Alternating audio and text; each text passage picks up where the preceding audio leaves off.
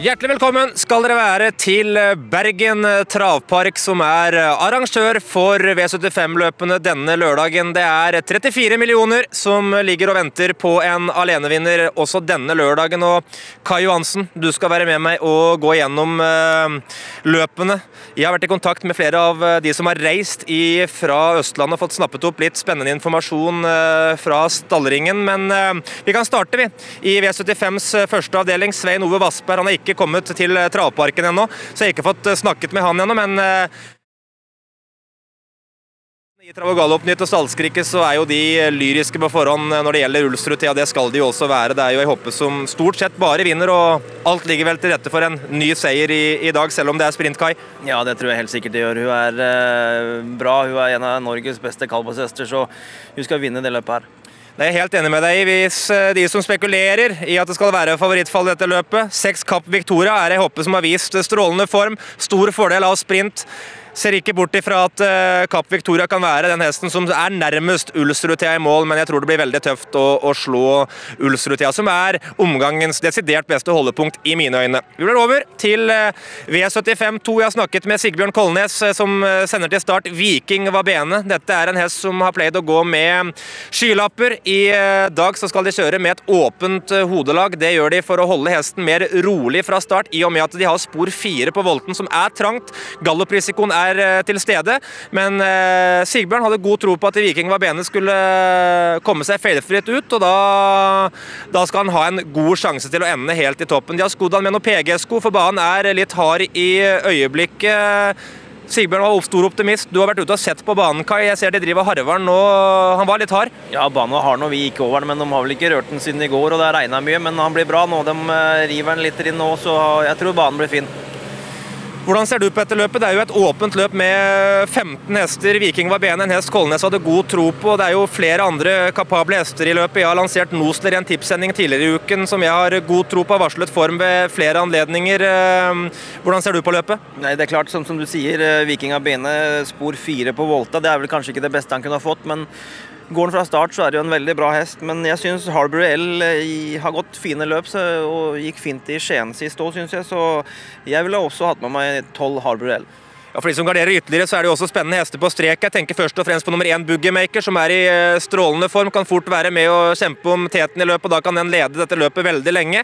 Og så har vi jo Anders Volden, som også trener hesten du har tro på, Kai, i Harborell. Han har jo også stor tro på Kalua O, som kommer tilbake etter en pause. Han sier hesten har trent, trent strålende, og den er også helt klart garderingsaktuell i V75 2.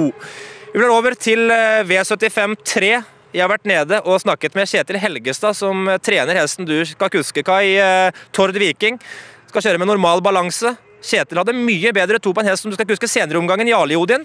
Han var litt skeptisk når det gjelder Tord Viking og sier hesten har uh, reist veldig fint. Han har holdt seg rolig på turen. Sist han var på langtur, da hadde han stressa veldig. Og det er jo en klar fordel at han holdt seg rolig på, på reisa. Det er jo klart det er, men uh, han kan gire seg opp ganske så fort, og han, så det er jo aldri noe sikkert. Men det er jo positivt at han har, har reist, uh, reist bra. så Kjetil tror på Jarle Odin, det er min beste sjanse i dag. Og jeg tror på Tord Viking, så vi får se hvem som har rett av oss.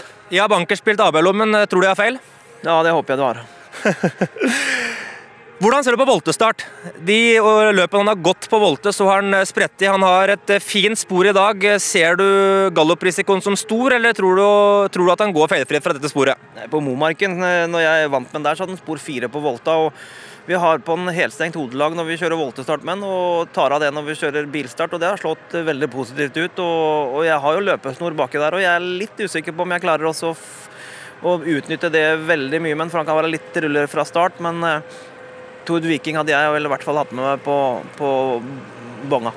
Jeg har god tro på AB-lommen, det har hatt hele uka. Jeg tror det er en uh, solid vinnersjanse etter løpet. Rapporten er uh, bra på nummer tre Vertigo Bjørn, som er en uh, hjemmehest. For de som garderer opp løpet, så er den selvskreven på kupongen. Jeg forstår på kretsen rundt hesten at de har god tro på nevnte Vertigo Bjørn, som har varslet storform i lengre tid og vant endelig sist og viste solid form. Så for de som garderer opp løpet, så er også nummer tre Vertigo Bjørn aktuell. Snakket også med en i Tygesen, som har med seg Brennesvarta. Møter gode hester, men nå er det årstiden for Brennesvarta Svarta, og den hoppa kan også være aktuell for de som garderer bredt. Så blar vi over til eh, V75 4. Jenny Tygesen hun trener favoritten Osen-gutten. Reisen har eh, gått fint, eh, og hun har god tro på sin hest. De håper at Osen-gutten kan sitte tidlig tett, men Vidar Hop han sitter nok på mye av nøkkelen av løpet. Han kusker Alsaker Fantom, som er rask fra start. Spørsmålet er hva Hop velger å gjøre. Kjører han foran, så kan det bli en tyngre tur for Osen-gutten. Og jeg har god tro på hesten du kusker, Kai. Jarlioden, det er jo aldri enkelt å hente 40 meter på tillegg, men reisen har vært strålende. Kunne Kjetil Helge Helgestad fortelle. Han har sett strålende ut i et banejobb på tirsdag. Virker mye skjerpet, og han mente at hesten var 20-30 meter forbedra kontra løpet sist på Bjerke. Og da skal han ha en topp sjanse etter løpet, selv fra 40 meter. Det er klart at han skal ha det, men eh, hvis han er 20-30 meter bedre enn han, eh, bedre enn han, han eh, var siste gangen, så går han langt ned på 3-24-tallet. Og det, det, gjør han ikke på 1600 meter og 40 meter tillegg. Det, det tror jeg ikke han gjør.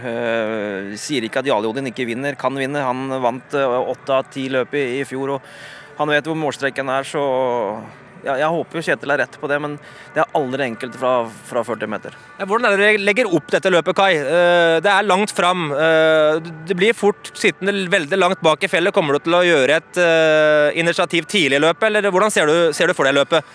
Spørs jo litt på hvordan farten er òg. Han, han, har gått mye tøffe løp i Ali Odin, og han har vel ikke vært den tøffeste til slutt de gangene ganga men etter han kom til Kjetil og, og, og sånn, så feila han jo fra start sist gang og, og, gikk veldig bra til slutt. Så eh, han har nok hatt godt av det, litt miljøforandring og alt mulig. Men det er klart det holder, det er litt på hvordan farten er eller underveis og sånn. Jeg kan ikke begynne å krabbe på dem tidlig i løpet hvis det går fort. Bør med på gardering? Det må den. Vi har også fått gode rapporter på Gomnesdona, som er i strålende form. De i Bergen har god tro på den hesten. En eh, spennende skrellhest i løpet kan være nummer seks, Spikdrøm. Det er ei eh, hoppe som blander og tar litt, men de gangene har legger godviljen til, så er den mer enn god nok til å kjempe i toppen i et sånt løp. Og skulle den hesten være på topp for dagen, så kan det være en skrell som kan være morsom å ha på V75-kupongene. Vi blar så over til V75-5. Ty Monroe har et helt riktig løp på papiret. Jeg har snakket med stallpersonell når det gjelder reisen til Ty Monroe og de er veldig godt fornøyd med hvordan reisen har gått. og Hun har drukket og spist på turen, og det skal være en klar fordel. Oppgaven ser også strålende ut på forhånd, og de skal gjøre alt for å forsvare innersporet. Klarer de det, så er vel mye av løpet gjort. Eh, Alexandria Aas er en hest jeg har tro på. Den hesten har varslet form i lengre tid uten å ha fått seieren, og den har gjort gode løp i Sverige før den kom til Lars Magne Søvik. Jeg syns den hesten møter helt riktig selskap. Når det gjelder MT Heliconia, så er det en vinnerhest som har vunnet åtte av ti løp i fjor, og vet hvordan det er å krysse mållinjen først. Jeg forstår på kretsen rundt at de har tro på hesten i eh, løpet i dag. Eh, Miss Young skal du ikke huske, Kai. Det blir vel kanskje tøft å gå helt i topps, men eh, det er et veldig uoversiktlig løp å finne ut av på forhånd. Det er mange vinnerkandidater i løpet. Ja, Det syns jeg. Det er mange av de som er gode fra start òg. Treeren, Letter Be Rock, er god fra start. Eneren er god fra start. Det kan bli fryktelig kjøring i, i, det løpet her. og Uh, min egen uh, Miss Young den tror jeg er egentlig bare ute etter den best mulige premie. For hun er desidert best når hun kan ligge i tet og ikke ligge i rygg på noen, for hun er litt sprutredd. Garderinger er påkrevd i V75-5, hvis man ikke da bare spiller Ty Monroe i håp om at den leder løpet hele veien. Vi over til V75-6. Når det gjelder Rafolo, som vant i V75-løpet på Momarken sist, så skal de eh, gjøre noen endringer. De skal sette på drapropper på hesten, de skal også sette på drasjelapper på hesten. Han har kun gått med faste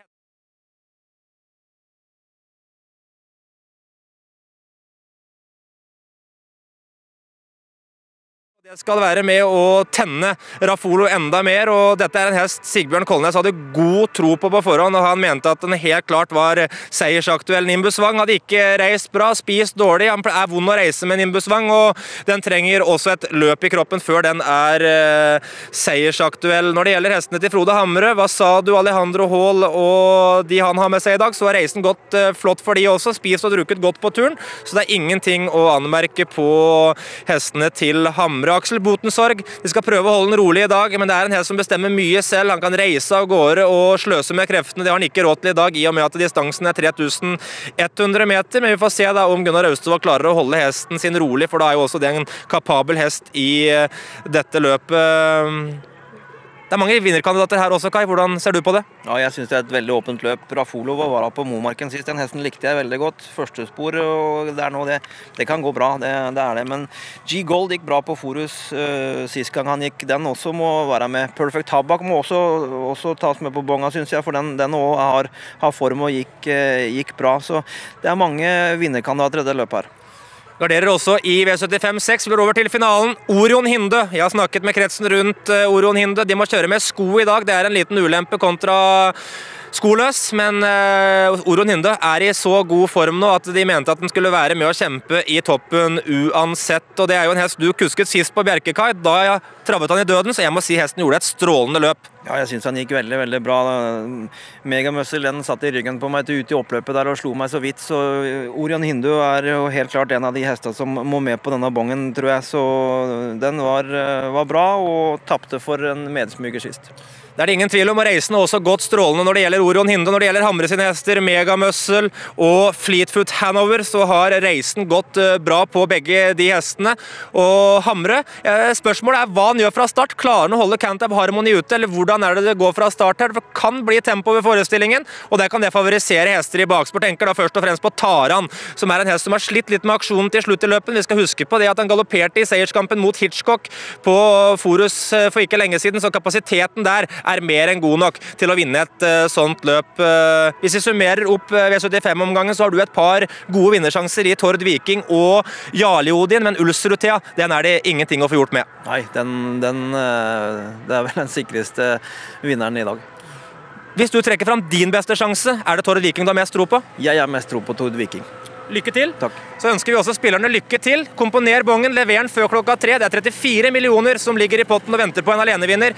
Det gjelder å være med i kampen, for ellers vinner han ikke ei krone. Jeg hadde levert V75-kupongen, for i dag er det spennende. Lykke til!